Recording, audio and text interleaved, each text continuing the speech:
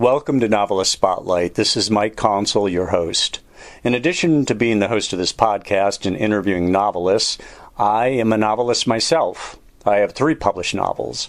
My latest is titled Lolita Firestone, a supernatural novel, and it is set in Sedona, Arizona and Cairo, Egypt. My previous novel is titled Family Recipes, a novel about Italian culture, Catholic guilt, and the culinary crime of the century. And my first novel is named Hardwood, a novel about college basketball and other games young men play. And that story deals with issues ranging from depression and racism to sex, religion, and university politics. All three novels are listed in the episode notes. I hope you will buy them, I hope you will read them, and I hope you will thoroughly enjoy them. Now, on with our program.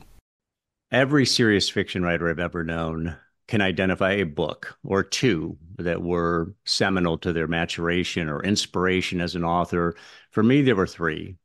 There was A World According to Garp by John Irving. There was White Noise by Don DeLillo. And then there was Bright Light, Big City by Jay McInerney. When I the book had had attracted a lot of attention, I decided to buy a copy. It was hip, exciting, energetic, and it was written in a fresh style. It was written in second person as opposed to first or third person, like the vast majority of books are written. And so there's a constant you being told, you, the reader, you, the person out there. In fact, let me just read a, a sh- short excerpt from Bright Lights and Big City just to underscore that the the power of the second person uh, writing style. Just outside the door, you spot her, tall, dark, and alone, half hidden behind a pillar at the edge of the dance floor. You approach laterally, moving your stuff like a bad spade through a, the slalom of synthesized conga rhythm. She jumps when you touch her shoulder. Dance? She shakes her head. Why is she looking at you as if you have tarantulas nesting in your eye sockets? You are by any chance Bolivian or Peruvian? She is looking around for help now, remembering the recent encounter with a young heiress bodyguard at Danceteria. Or was it the red parrot? You back off, hands raised over your head just as an example, again, that's quoting a, a, short passage from Bright Lights Big City. Not only was it written in second person, but the protagonist is never really named in the book, and no. uh, further immersing the reader into the story in a way that uh, you could be the protagonist, that the story is about the reader himself or herself. That right. book absolutely exploded on the scene. 700,000 copies sold is, is the last count that I had heard, plus tens of thousands a year, a year for years after that. That book was authored by the man in the spotlight during this episode. His name is Jay McInerney, of course. A guy really needs no introduction.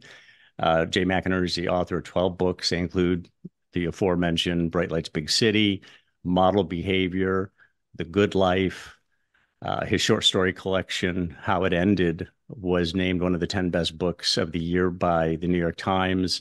His work has appeared in New York Magazine, Vanity Fair, The New Yorker, New York Times Book Review, the Times Literary Supplement, New York Review of Books, on and on.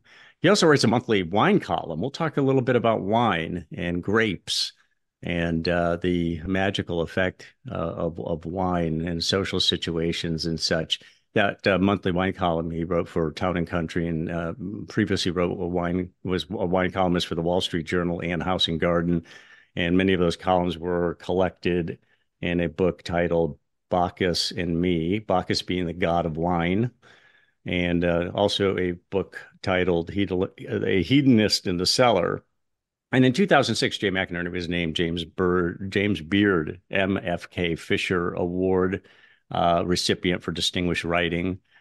And in 1989, he was named Literary Lion uh, by the New York Public Library. Um, some of his other books include uh, uh titles uh, such as The um, Last of the Savages and The Last Bachelor uh, and The Business and so on. Jay McInerney, uh, thank you for coming on the program. My pleasure. I, I, just can't, I forgot. I'd forgotten half of that, but I, I did ring a bell when I was reading some of the uh, some of the excerpt from the book. Good, good to know. I just when when I was named a literary lion, I remember uh, sneaking off to the bathroom with uh, Hunter Hunter Thompson, and uh, well, now you're in trouble. sharing sharing some of his um, excellent drugs before trying to get back to the the dinner party that was celebrating us. well, this is such a signature book for the era, and um, this was really any author's dream. Here, here's your first novel, and uh, you. My understanding is that you and your publisher didn't really expect it to do what it did. Uh, they, no. they, were expecting it to sell some books, but it it became a huge sensation. Um, and that that's that's the case that that uh, it was like wow we we weren't expecting this but here we go yeah well i was honestly i was just kind of expe- uh, i was hoping to get enough good reviews that i could that i could get a teaching job out of the whole thing um, you know the book was as you mentioned earlier it was written in the second person which isn't perhaps the at least at, at the time we didn't think it was the most reader friendly mode and um, uh, and it was, you know, it was considered in house. It was considered a fairly literary book. You know, that is, it was not considered, you know, Jacqueline Susann, Frederick Forsyth kind of bestseller material. Uh, to name some bestsellers of the era, and um, you know, I remember Jason Epstein, who was the president of Random House at the time, took me out to lunch, and he he was fortunately a fan of the book, which, which was really how it got published. He took me out to lunch at Lutece and bought me some very expensive wine, and, he, and but he warned me. He said, first of all, he said, number one, people your age don't read anymore. I was 27 at the time, I believe, and um, and he said, number two, people uh, people don't care about New York City. New York City is not a good subject for a book. Um, I subsequently, uh, well, many, many people who followed in my wake subsequently proved that wrong, since their their their bright lights partly spawned a huge avalanche of books about New York. Um, yes, culminating with the Bonfire of the Vanities, uh, and um, and and thirdly, he said it's written in the second person, which is kind of weird. But he said I happen to like it. But, but he just basically said don't get your hopes up and that was the feeling in house. I think we, I think the first printing was five thousand copies, and and uh, we were all flabbergasted when the first printing immediately sold out, um, largely on word of mouth. And at that time, it took six weeks to to reprint a book. So the feeling then, of course, was that it would die in those six weeks because everybody would forget about it. Um, unfortunately, didn't fortunately, the lack of product only sort of fed the appetite for the book, it seems. And uh, and so suddenly, before I knew it, I was the toast of the town, and I was um, the, the the book was selling tens of thousands of copies a week, and and uh, movie rights were sold, and every actor of that generation was courting me in order to play the lead role. People like Tom Hanks and Alec Baldwin and Tom Cruise and and Rob Lowe and on and on and on. I saw the movie, but I don't remember who was the lead role. um, it was a long well, time ago. The, the movie was the movie was actually written by me, which was probably a mistake. Uh, one of the reasons it wasn't could have been, uh, since I am not a professional screenwriter. Uh, but it was um, it starred Tom, uh, sorry, uh, Michael J. Fox, who at that time was sort of the hottest. Oh, that's right. Uh, the hottest actor out there. The problem was that he was, you know, he was known for this very clean cut role in a TV show called Family Ties. Yes. And his image and my image were, you know, diametrically opposed. As it turns out, we were quite similar. Um, uh, personally, uh, we ended up spending an awful lot of nights on the town in New York while he was filming. Filming uh, Bright Lights Big City, how how he ever made it to the set at six in the morning every every day, I have no idea. Um, Why but, six uh, in the morning? He had he had other obligations later in the day, so it had to be done early. No, that's just when they start filming movies. Is it six Okay. morning? Hmm. One one of the reasons that I probably didn't go into the film business, uh, being a night person myself. But um, but you know, Tom. I mean, Tom is a very sorry, Michael is a very good actor. I I keep saying Tom because Tom Cruise for six or eight months was scheduled to be the to be the lead, and Tom followed me around the New York nightclubs and so on in order to basically based the part on me. Uh, and then there were delays in production, and along came this movie called Top Gun, and so Tom ran off and did Top Gun. Michael J. Fox came along, and um, he was he was a great actor, but his his image was such that it was very hard for his fans to see him in, in a sort of decadent New York role, which involved him snorting a lot of coke, and um, uh, so his I don't think his fans were were pleased, and my, my smaller legion of fans were definitely not pleased with with my Yeah. character being played by this incredibly clean cut, you know, Happens so formerly often. Happens so often. So, um, people come up to me, you know, every every month or every week even, say they just saw the movie because it's always playing somewhere. But um, I'm I'm not a big fan of the movie. Uh, I, I just think I was I failed to figure out how to translate the the the very unusual narrative of the novel into onto film. Um, Yeah, that's it the key. I mean, to any listener out there, read the book. Don't don't. Uh, I mean, see the movie, but read the book. If you're only going to do one thing, read the book Yeah. because, as you say, it's the, the narrative is just not something that translates so well on, on the film, and, and you don't get the sense of immersion in in the movie. And also, it was directed by a guy, um, um, James Bridges, who's a very good director, but he was, at the time, he must have been 62 years old, 65 years old. Uh, you know, I'm afraid I'm that old now, but um, but he he he just didn't get it. You know, I mean, he he didn't really understand the subset, subtext of the novel. He didn't understand why people wait outside nightclubs for hours trying to get in. And he didn't really understand the allure of what was inside. I mean, just to use one example. Right, right. So it, I mean, it just, uh, it wasn't, it, at the time, it was the number one movie, but it really wasn't a great success. The other thing that, that happened was that by the time they filmed the movie, you know, uh, Len Bias, the basketball player, had died of a coke yes, I remember. And Nancy Reagan was was was going full steam ahead on this "Just Say No" campaign, and there was a great fear among the filmmakers of glamorizing uh, decadence and cocaine use and so on. So, so we we had a bit of a problem, even I before. can imagine. So you didn't get a lot of pushback on second person. That was like, well, you know, it's a little odd compared to most books, but they didn't really push back hard. Uh, the book, uh, great thing is most most people didn't notice it. yeah, that's amazing to me because that that to me was such a mark of distinction of the book.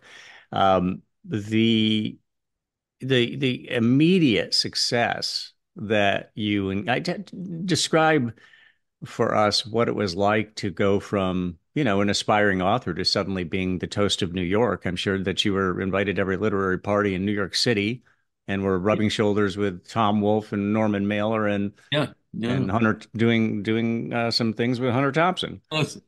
Yeah, it was. I mean, it was it was pretty extraordinary. I was I was an unemployed I was an unemployed would-be author who had recently been fired from the New Yorker for being a bad, bad fact checker.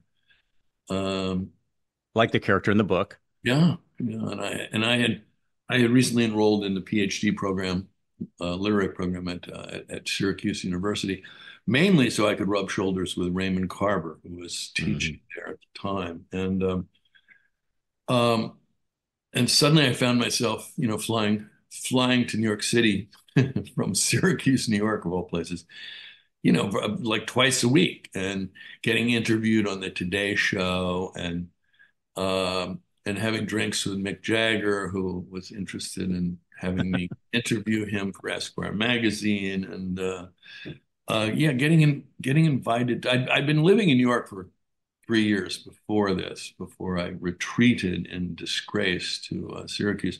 So I knew New York pretty well, and suddenly all these nightclubs that I had trouble getting into were were begging me to uh, grace their dance floors. Um, you know, Yeah. I remember, Yeah, I remember about this time a, a nightclub called the Palladium opened up, and it was this huge Steve Rubell production. Um, it was the biggest nightclub that had ever opened, and it was sort of the apotheosis of that whole idea. After, after you know, nightclubs were supposed to be underground; they weren't supposed to be, you know, big media sensations. But anyway, there must have been a thousand people at the door of this place trying to get in, and I was with some friends of mine, uh, way at the back of the line.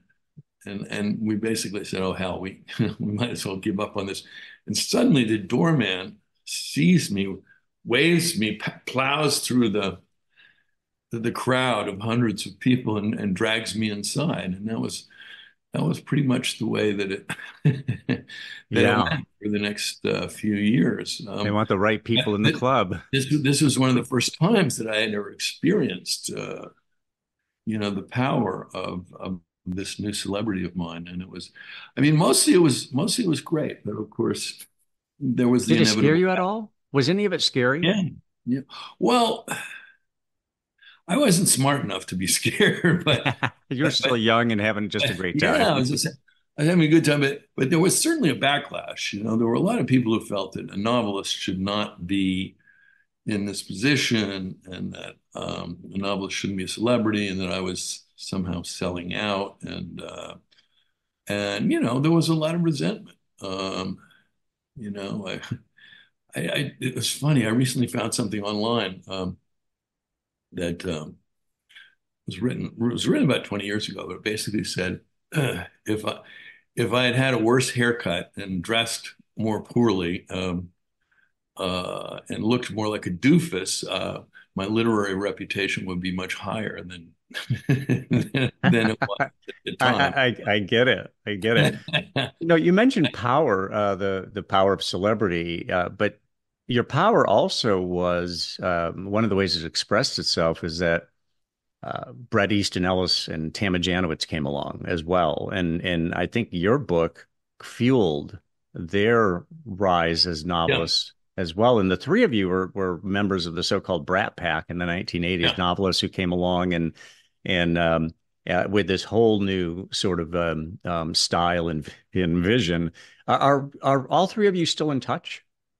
Well, um, two of us are in touch, uh, but the um, yeah, it was a funny thing because Bret. So Bret's book was published. I can't remember. I actually reviewed Tama's uh, first uh, book for the New York Times, and I gave it a pretty good review. Uh, Brad came along about nine months later, and his editor was a great friend of mine named Morgan Entrekin, and he said, "I've just found this book. It's amazing." He said, "I'm going to promote it as the West Coast Bright Lights Big City." And I said, "Hmm, yeah, whatever." Um, I subsequently read the book and met Matt Bratt on some literary panel, and uh, and we really kind of hit it off. Uh, and even though, in my mind, we were quite different writers, our styles were were very different. Our subject matters were similar. Uh, you know, the young young people, uh, nightlife, drugs, and so on. Um, and and really, the media can only deal with the media can't deal with style. They can't deal with um, uh, the difference between, you know, rom romanticism and and and um, and stoicism, and they um, um, so they they loved the fact. Bret and I were like, you know, we were both these young people writing about writing about subject matter that hadn't made it into literature for a long time.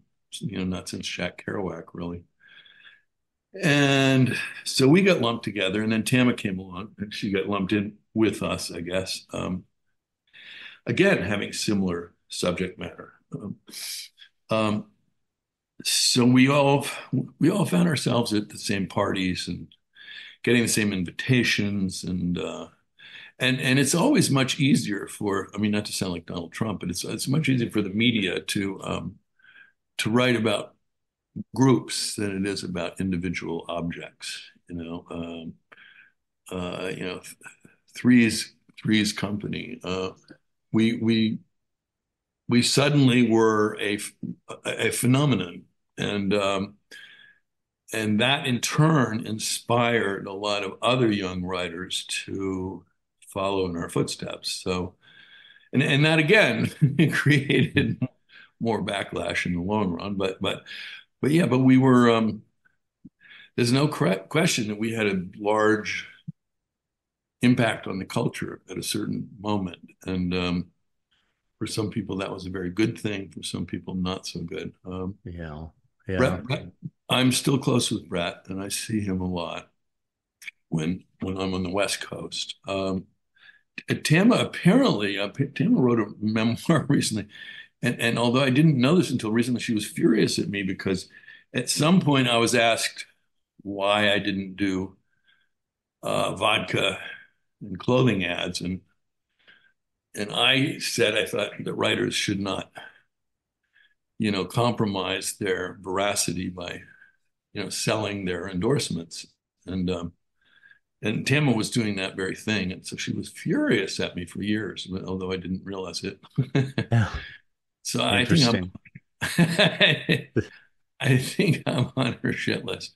Yeah, um, it's what it sounds like. But but Bret, but, but Bret and I really did become close friends. And um, and there was a point where we, you know, we had dinner every Friday night and uh, we've sort of figured if the press is going to throw us together, we might as well just go for it. And um, and then he he he ended up he ended up borrowing some of my characters and uh, that's cheating. well, I just I, I think I think it was a big joke to him and it was pretty funny and I ultimately after a brief moment of bristling, I thought it was pretty funny too. Um, so, so, let me, so, let me ask you about.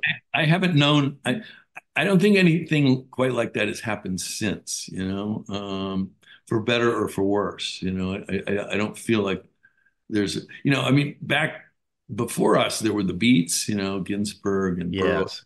Kerouac, and to some extent, Gore Vidal and Norman Mailer and Truman Capote formed a, sort of a triumvirate, and they were on talk shows, and people knew who they were I, I, I don't know if that happens anymore.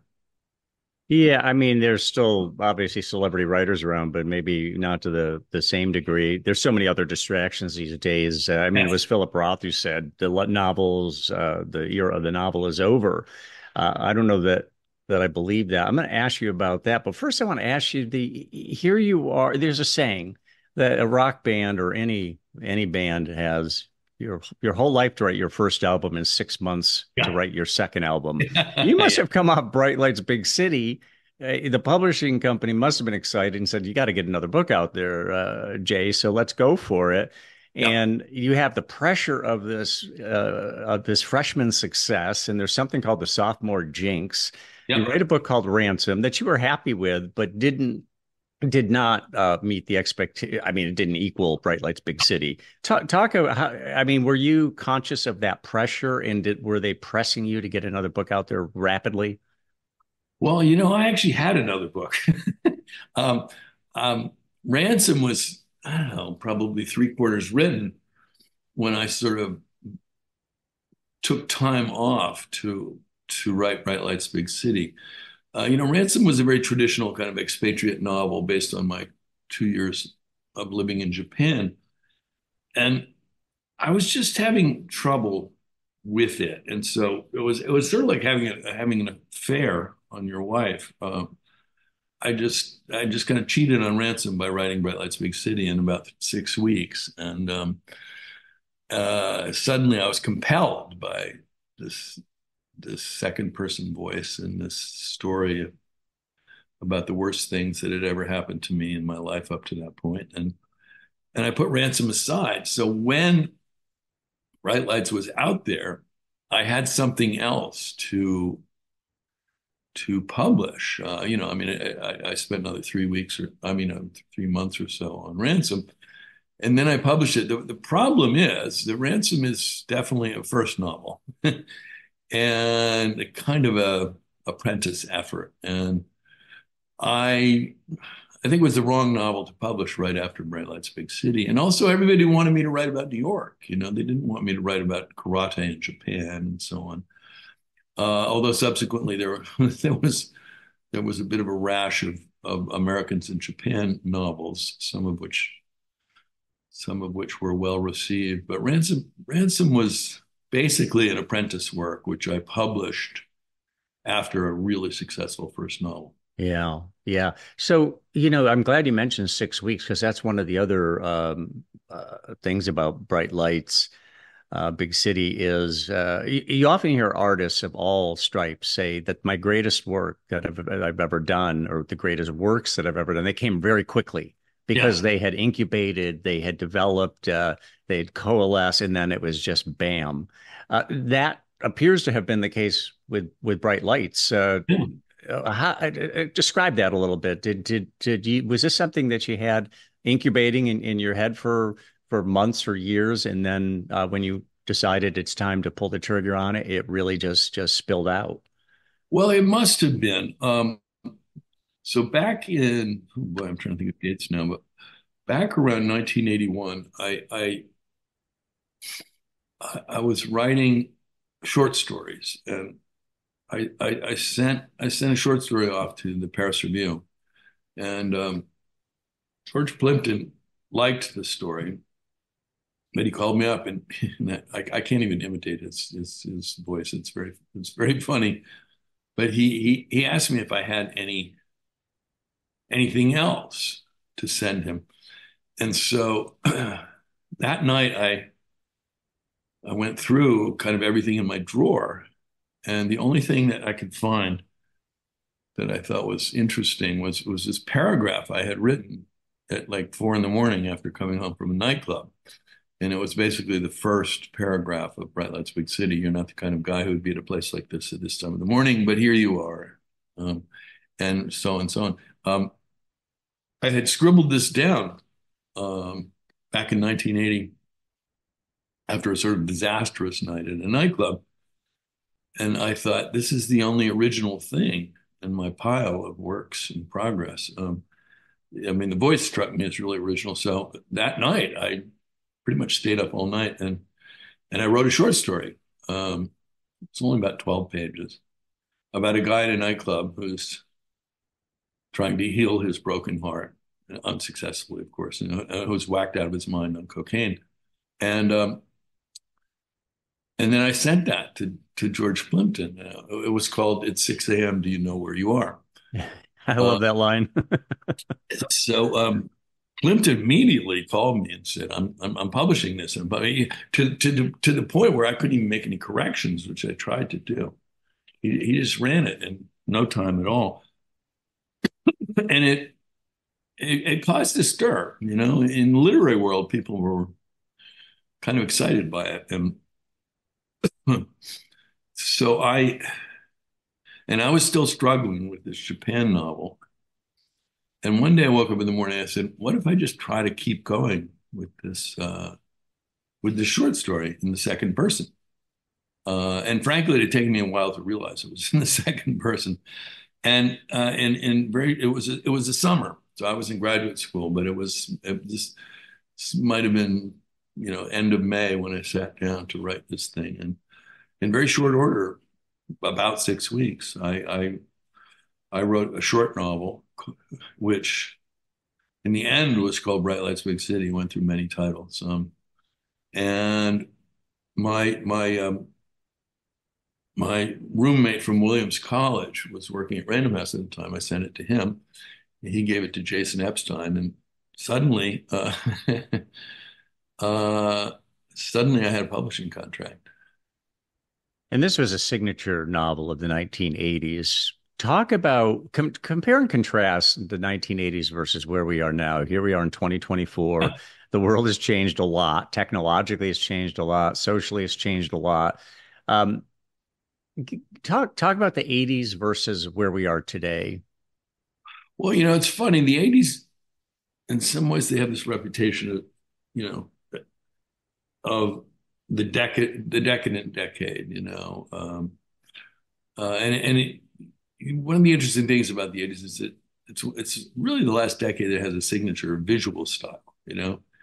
You know, if you see if you see a photograph of me in 1985, you know it's 1985 between the clothing and the haircut and so on. Mm-hmm. And, or and but likewise the the architecture and the cars and everything. Um, but the 80s was supposed to be so decadent with the with the cocaine and the fact that the Dow Jones Industrial Average hit 3,000 and uh, you know Wall Street bankers were throwing their weight around and so on and uh, they were doing a lot of cocaine too. They were doing yeah, but but when you look back at it now, the, the 80s seemed kind of quaint and almost cute compared to what has what has followed. Uh, and uh, but it was a smaller world then. It was, um, uh, you know, without social media, without so-called quality television, um, uh, we, you know, without the internet, it was just, um, it, it, it, was an easier world to navigate, really. Uh, on the other hand, um, it was also scary and almost apocalyptic in the sense that in my community in particular, which was downtown creative New York, you suddenly had this plague which arose amongst us, uh, called, you know, which was AIDS, of course. And uh, we were we were pretty freaked out. Um, you know, more than you know, the, the crowd that I traveled in was at least half gay, and uh, suddenly people were getting sick. People were getting these uh, hmm. Kaposi sarcoma sort of blotches on their on their skin.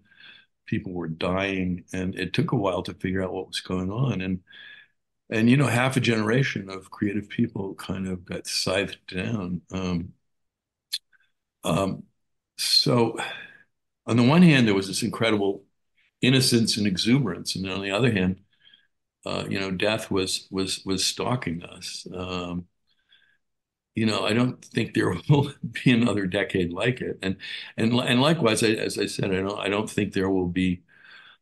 I don't think there is any longer the opportunity for a, a novelist to make uh, make the, cultural impact that, that that some did at that time.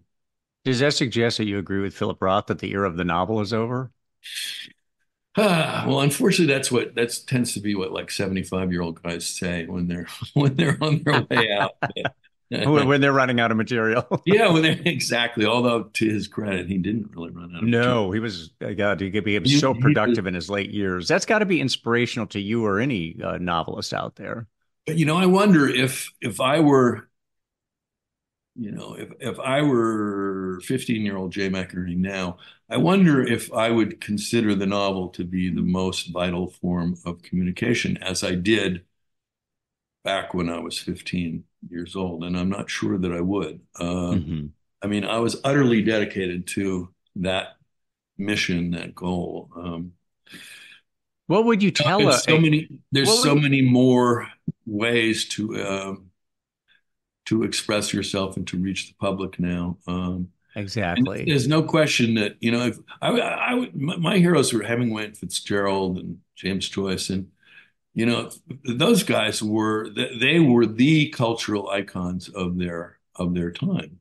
Yeah. They were the they were the ones who to me were the most creative well, since painting and music didn't come naturally to me, they were they were the most creative figures of, of their time.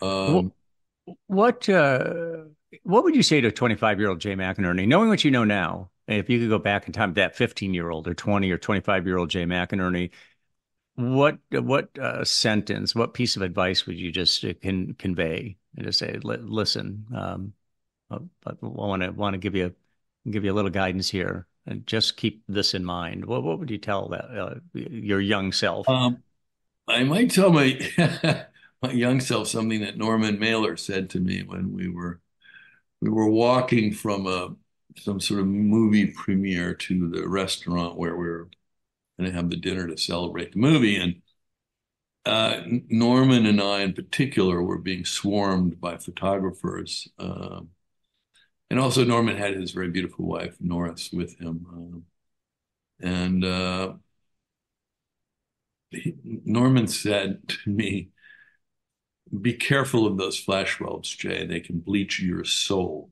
And um, he, what he meant by that, obviously, was, you know, be careful of how you embrace this celebrity. And um, you know, I th- I think if I if I had the chance to go back, I would I would embrace it a little less because I don't know, it's it's uh, it's very seductive and it's very dangerous. Like you know, like like a beautiful fickle woman who may be gone the next morning before you before you realize it. Yeah, the Norwegian wood syndrome. yes. So, uh, did you did this take you away from your work? Uh, the celebrity was such that you know you you uh, enjoyed it uh, at the time anyway. Did did you find that you were doing less writing because you were too involved in the nightlife? Well, you know, fortunately, when you're young, you're very driven, and uh, I think that I, you know, I can I continued to work pretty steadily. But yeah, there's there's probably a book somewhere, a ghost book somewhere back there that didn't get written, which mm-hmm. which I read.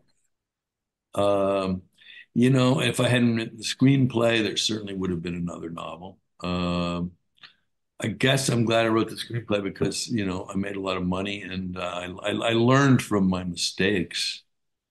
But one of the things I learned is that I'm a novelist and not a screenwriter. Uh, I've, I've, I've subsequently written maybe ten of them, but I'm still not very good.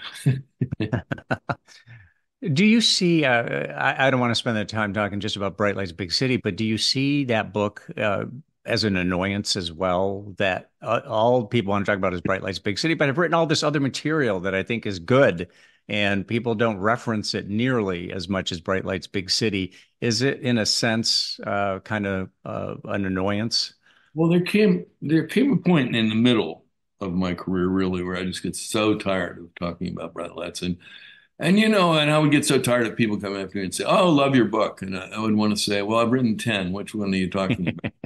And, but that would be disingenuous. It was, it was, um, yeah, I was, I was kind of sick of it for a while until eventually I realized that you know, as I as I said to you earlier, the the goal with Bright Lights Big City was getting a, a few good reviews and getting a teaching job somewhere in the Midwest, and Instead, I got a career as a full time novelist, and I was able to devote myself entirely to writing. And um, and Bright Lights gave me a certain fame, which still hasn't worn off entirely. And um, I, I finally did, and and you know, and I finally reread it a few years ago and decided, you know what, I'm pretty proud of this. So um, now, yeah. now I now, now I've gotten over my resentment of Bright Lights Big City, but I, I certainly had it for a while.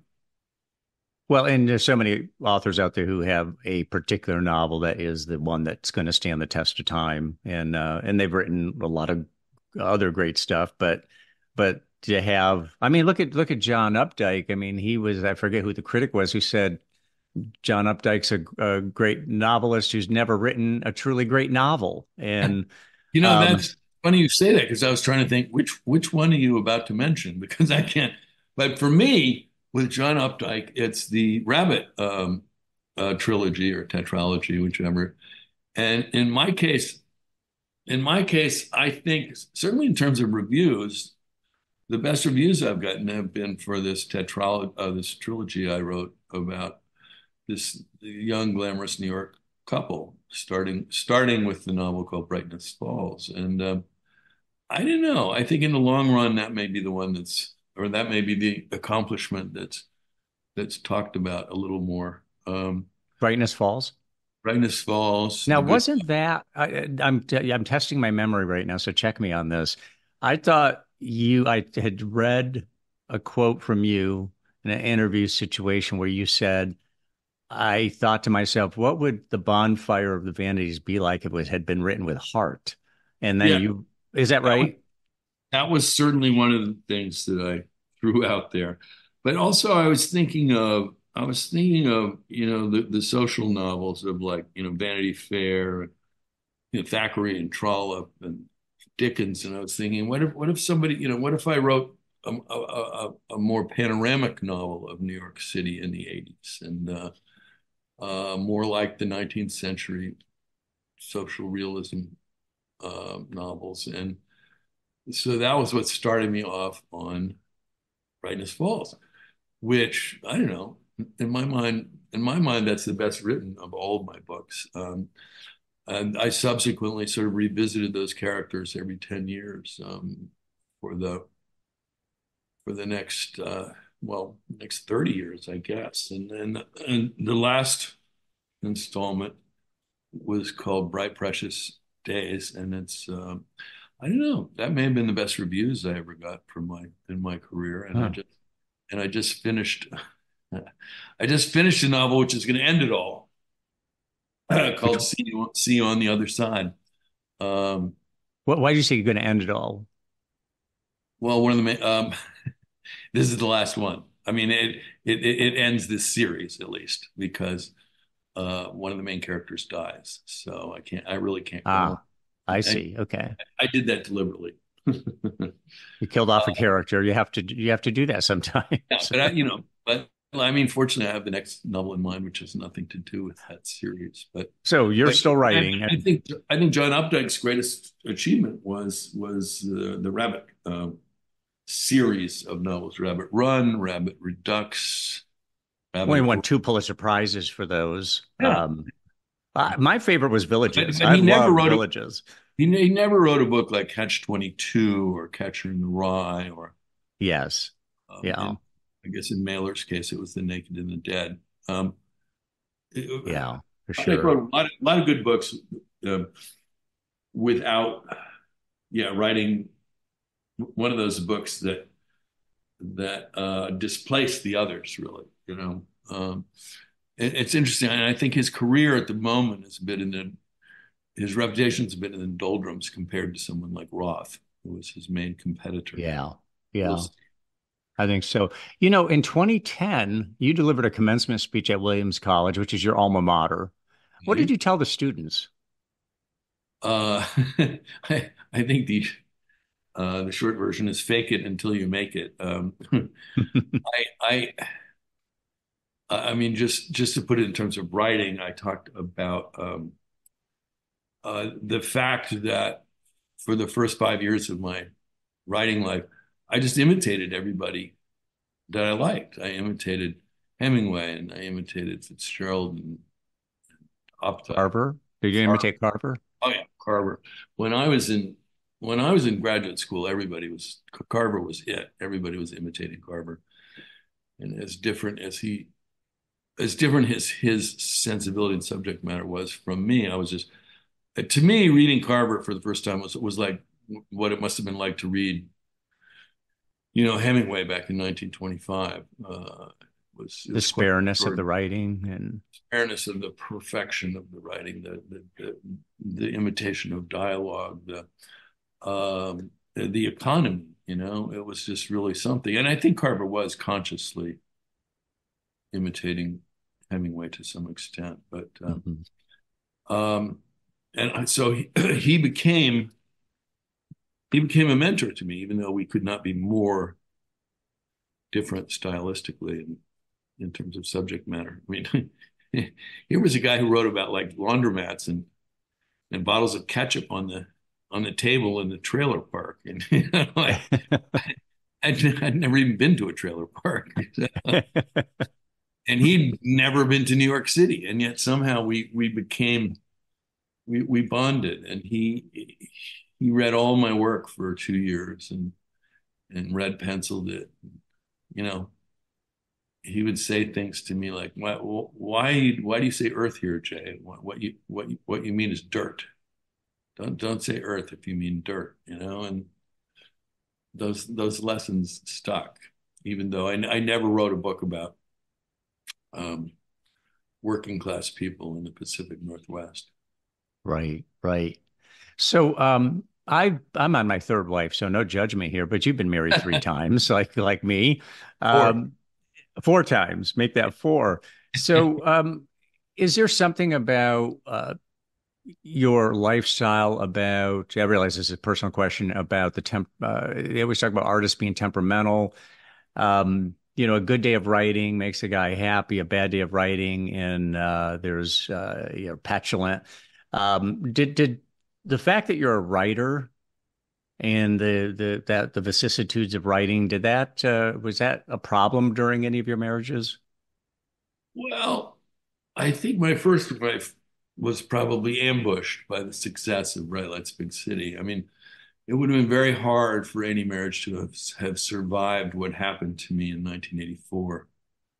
Uh, when suddenly I was just, you know, swamped by this wave of of attention and acclaim, and uh, she kind of got washed away by all of that, and um, and and you know she also she was emotionally fragile in a way that particularly made her uh, susceptible to all of that. Um, um, you know, I, w- I, w- I would say that I have I was probably subjected to more temptation than most people were at that time. Oh, sure. Yeah. Um, You're surrounded by the beautiful people. And I have a, yeah. and I have a relatively short attention span. I don't know. I mean, I think Mailer had seven wives. So, uh, oh, yes.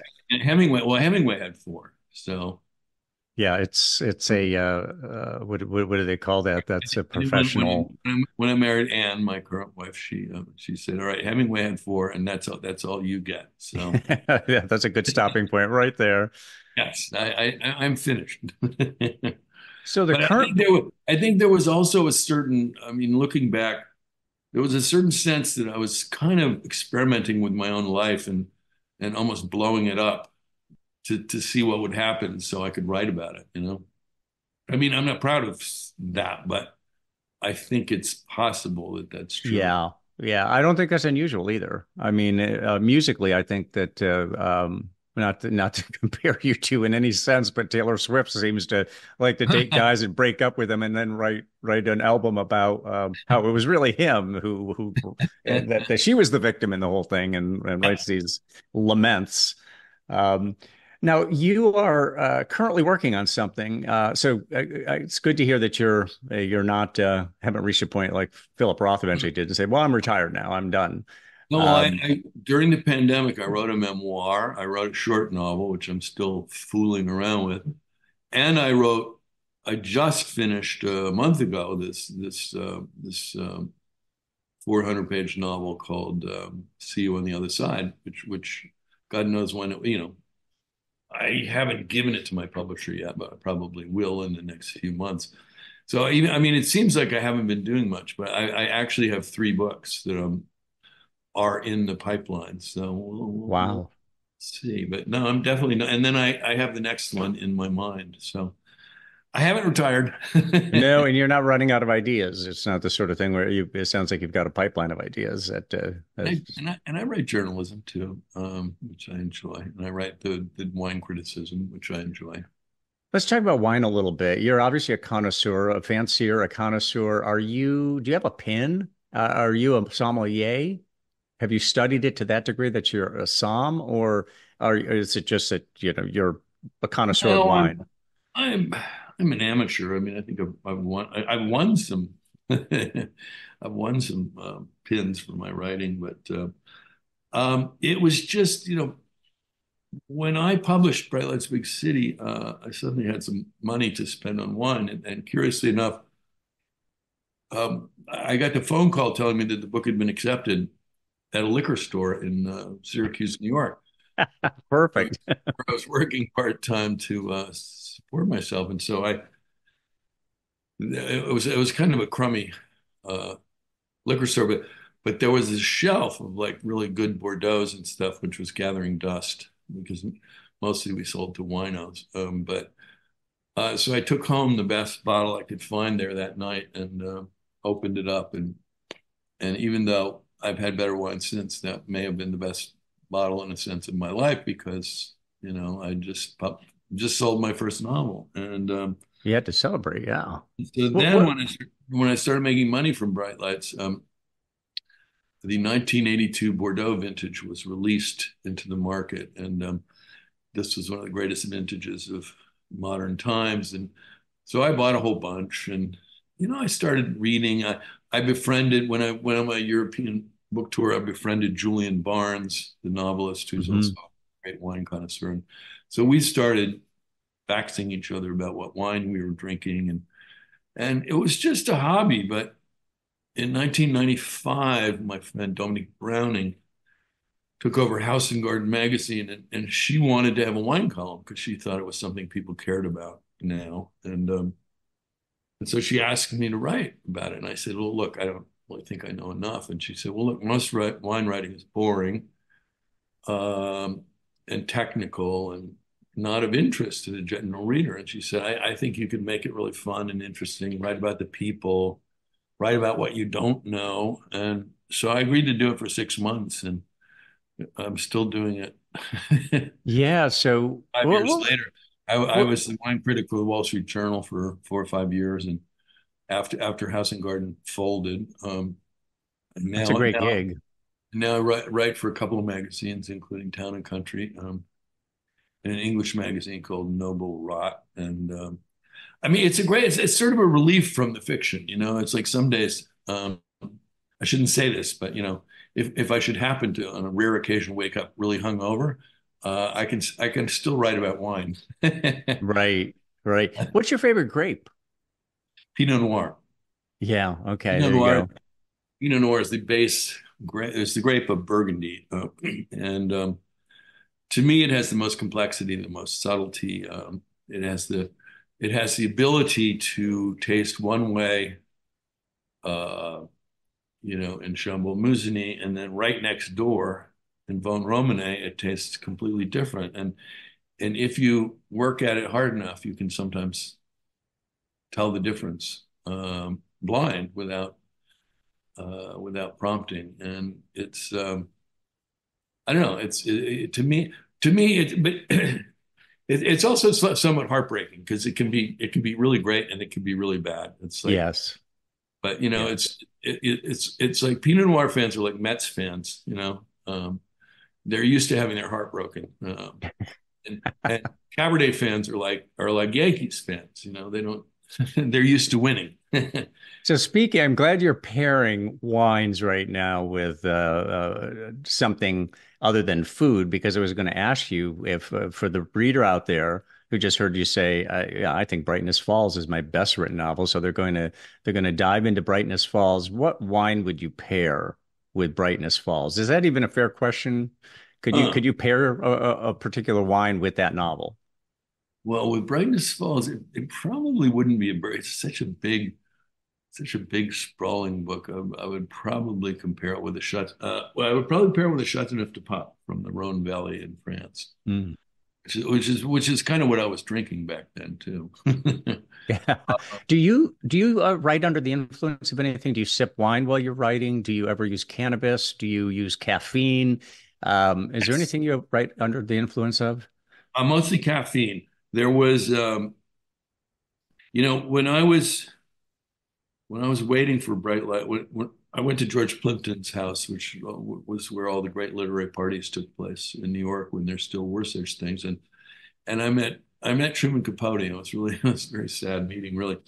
But you know capote uh, this is in 1984 and capote kind of dragged me into george plimpton's office and, and of course tried to grope me and whatnot but he had a bag of cocaine, so I sort of put up with it, and and we did some cocaine together. And and he said, you know, this is the great secret of writing. You know, you can write forever and brilliantly. And you know what? It isn't because I tried. I tried to write on coke. And you know, you sit down to write on coke, and you, next thing you know, you're picking up the phone. You know, you're like, you know, you're you're you're looking at the paper. You're, cocaine, cocaine is a terrible uh, a terrible stimulant for writing. Um, the only, uh, you know, I've, I've, I've, written under the influence of alcohol too, but I somehow don't in general find it to be the right kind of stimulus. The only The only time I use alcohol is if I've been writing all day, I will inevitably reward myself with, you know, a nice meal and some wine. And then sometimes I, I, I go back to my computer and the three or four pages that I wrote that day, I will then rewrite under the, you know, under, somewhat under the influence of some wine. And sometimes it loosens things up in in a good way. Mm-hmm. Uh, but that's after it's already down on paper. So do you go out to eat a lot? I mean, do you run into Gay Talese uh, drinking his gin, his uh, gin uh, martini at, at the bar?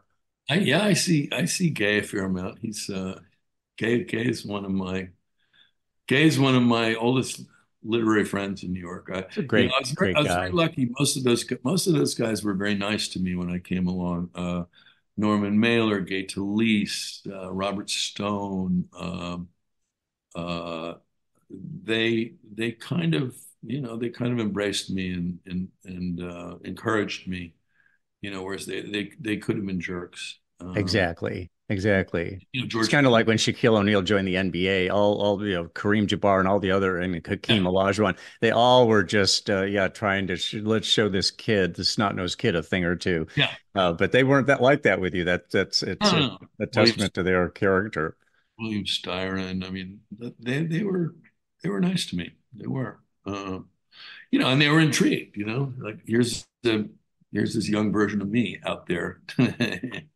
um, I, I, exactly. I, was pretty lucky. That I, I was not always lucky with the with the what I call the guardians of the culture and the, the, the gatekeepers and the the critics, but but I was always lucky with the. Uh, I was always taken care of by the older, established writers, guys guys like that. Talk about your writing regimen. Uh, what what is your work ethic like and your work style? Are you a morning writer? How long do yeah. you go? Uh, where do you do your writing? I'm mostly a morning writer. I if I don't get started by noon, I just feel like I've lost it. But I I'm not an early morning person. But but w- when I'm really writing, um, the more involved in a novel I am, the earlier I get up. You know, so that let's say finishing finishing up this recent book uh, the last 10 days that I was at it, I was waking up earlier and earlier because I was thinking about it. And I was at my desk by 7.30, say, and um, working, working for, I don't know, five, six hours at a time. Um, in general, though, I don't get to my desk till about nine. I have some coffee, then I come to my desk. And I work until, you know, I work until lunch and if it's re- if, if it's good, then I might work after lunch. And if it's not good, I'm, I'm discouraged and I don't work after lunch. right, right. So a lot of times writers have these turning points in their career. Obviously, Bright Lights Big City was it was a uh, you know it was the launch and and and a turning point.